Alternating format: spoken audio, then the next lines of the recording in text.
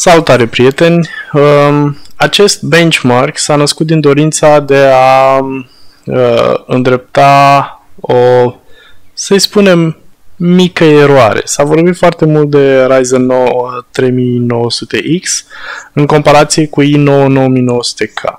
Ryzen 9 face parte dintr-o cu tot o altă generație de, de, de procesoare Um, o altă arhitectură, uh, un număr de coruri mai mare, cu vreo 4, ceea ce nu e, destul, nu e deloc neglijabil, având în vedere, să zicem, Cinebench, care uh, testează exact, uh, exact lucrul ăsta și mai ales când, uh, când ai un benchmark care care testează abilitatea de a te descurca într-un anumit test cu numărul de coruri pe care, pe care îl ai. Uh, deci eh, comparăm 12 eh, cu 8, eh, diferite arhitecturi și așa mai departe, după care îl punem la colț pe i9 9900K. Bun, în aceeași ordine de idei avem aici un i9 7960 cu exact 4 coruri mai mult decât, decât Ryzen 9 3900X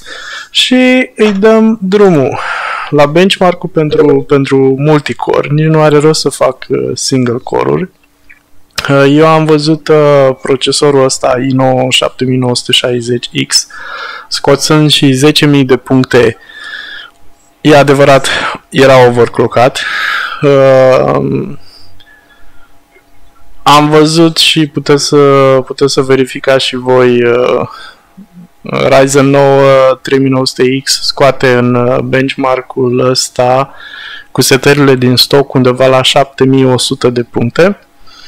Uh, noi suntem cu, stoc, cu setările din stoc uh, și scoatem undeva la 8654 de puncte. Deci undeva cu...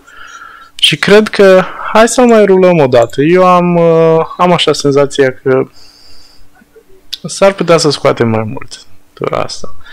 Deci ar fi, ar fi interesant să, să facem comparații și benchmark-uri cu procesoare din aceeași generație, cu procesoare care au același număr de coruri, uh, pentru că atunci uh, benchmark-urile pe care le facem ar fi mult mai, uh, mult mai relevante. Uh, pe lângă faptul că, într-adevăr, Ryzen 9 este un și oferă performanță extraordinară la prețul pe care, pe care îl au, um, îl are. Însă, um,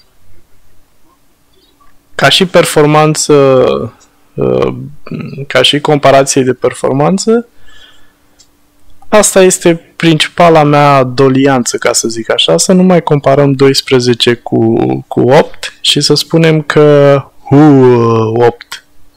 Păi, scuză-mă, ăla e un fel de 4 coruri mai mult înseamnă cu 50% mai multe coruri decât mine. Mm. Și uite care este diferența. Când uh, comparăm în partea cealaltă, i9 7960X are 16 coruri. 16 coruri și 32 de threads față de 12 cu 24. Iar diferența se traduce în 1000 da, în 1000 și ceva de puncte. Ca să nu mai vorbim de inabilitatea celor de la AMD de a crea un procesor stabil chiar și în overclock.